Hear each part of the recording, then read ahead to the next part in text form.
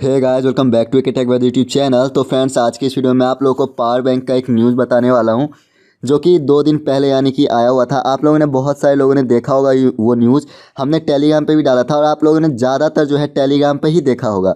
Telegram WhatsApp पे ही उनकी photo चल रही थी। आपने कभी रियल न्यूज़ नहीं देखा होगा, किसी भी एप्लीकेशन का जो इतना बड़ा फ्रॉड किया आपके साथ। पावर बैंक ने बहुत बड़ा फ्रॉड किया था, ये आप लोग जानते होंगे। तो अभी जो है, ये न्यूज़पेपर में भी आया हुआ था। काफ़ी सारे न्यूज़पेपर थे, दैनिक भास्कर और इसके बाद जो है फिर नवभारत टाइम्स, फिर पत्रिका, बहुत सारी जो, बहुत सारी यानी कि न्यूज़ कंपनी है, वो सब अपना अपना यानी कि उस पर डाले थे। तो यहाँ पे देखिए क्या लिखा हुआ था, कम समय में लखपति बनने में लुटे लोग। घंटे के हिसाब से ब्याज लेने के चक्कर में फर्जी बैंक में लोगों के पैसे डूबे, कंपनी ने ऐप को प्ले स्टोर से हटाया। यानी पावर बैंक को प्ले स्टोर ने हटा दिया। ट्रैवल और यानी कि ट्रैवल एप्लीकेशन और पावर बैंक एप्लीकेशन, ये दोनों एप्लीकेशन जो थी, सारी एप्लीकेशन वैसे सेम ही थी।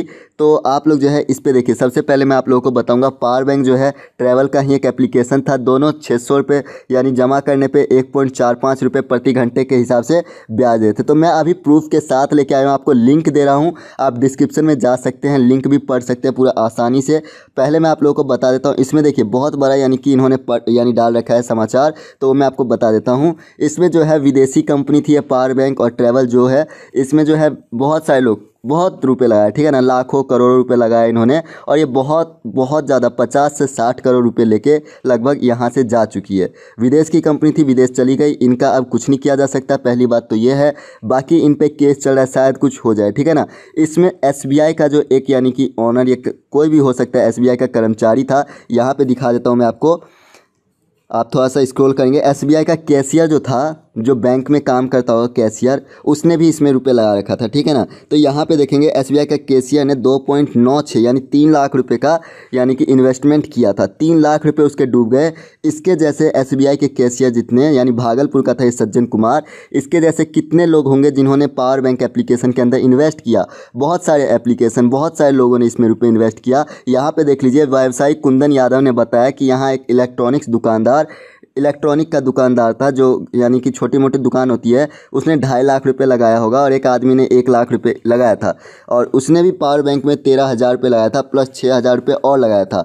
तो यहाँ पे जो है सारी एप्लीकेशन लगभग देखिए, सारे लाखों में ही बात करें, ठीक है ना? किसी का भी छोटा मोटा रकम नहीं है। यहाँ पर देखेंगे, गंगापुर का पिंटू कुमार छः हज़ार, रामजनी का मोहम्मद सैयाद का पंद्रह हज़ार, हरी किशोर कुमार का ट्रैवल में चौबीस हज़ार नौ सौ पचास, शेयर पावर में एक हज़ार, सारे का नाम आ चुका है, देख लीजिए, सारे एप्लीकेशन आ चुके हैं। शेयर पावर पावर बैंक फिर इसके बाद जो है ट्रैवल सारी एप्लीकेशन का यहाँ पे नाम आ चुका है। शायद कंपनी इन पे यानी सरकार कुछ यानी एक्शन ले सकती है। तो आप लोग ये न्यूज़ देखिए एक बार, शायद कुछ हो जाए, ठीक है ना? हो सकता है फ्यूचर में कुछ इस पर यानी कार्रवाई की जाए। वैसे जो है ये एप्लीकेशन वैसे जो है मुकदमा इसका दर्ज हो चुका है थाने में तो यहाँ पे देखेंगे ठगी मामले में किसी ने आवेदन नहीं दिया। जानकारी जा, जानकी नगर थानाध्यक्ष सुनील कुमार ने बताया कि वर्तमान में power bank travel share power investment company संबंधित क्षेत्र से ठगी मामले में किसी के द्वारा आवेदन नहीं दिया गया ना ही कोई शिकायत दर्ज हुई है। फ़िलहाल किसी के द्वारा इस तरह की शिकायत नहीं की गई ठीक है ना? पर नीचे में आप यहाँ पर देखेंगे तो यहाँ पर जो है आप लोग देख सकते हैं इन्होंने जो है शिकायत दर्ज हो चुका है ठीक है ना? अभी ये दो दिन पहले की न्यूज़ थी और जो है अभी यानी कि कल के डेट में भी एक न्यूज़ आई थी कि पावर बैंक का जो और शेयर पावर ये जो एप्लीकेशन है, इन पर मुकदमा चलाया जा चुका है, ठीक है ना? बाकी अब कुछ हो सकता है तो वो तो पता नहीं नहीं होगा वैसे। अब आपके रुपए डूब चुके हैं तो वापस तो नहीं आएँगे, ठीक है ना? पर आगे से सोच के रखिएगा कि ये एप्लीकेशन इन्वेस्टमेंट वाली जितनी भी एप्लीकेशन आती है, उन सब के पास रुपए यानी कि ज़ीरो रुपये होती है, वो ज़ीरो से शुरुआत करते हैं और करोड़पति बन के वो लोग जाते हैं, ठीक है ना? आप लोगों का पैसा यानी लूट लेते हैं। अब साफ़ साफ़ बता दूँ, ऐसी एप्लीकेशन जो आती है, वो आप लोगों के पैसे ही आप लोगों को वापस करती है। मान लीजिए आपने कुछ इन्वेस्टमेंट किया पावर बैंक में, और किसी भी एप्लीकेशन मान लीजिए आपने छः सौ रुपये इन्वेस्ट किया, आपको यानी कि फिर दूसरे व्यक्ति ने छः सौ रुपये इन्वेस्ट किया। आपने एक ही बार में छः सौ इन्वेस्ट किया।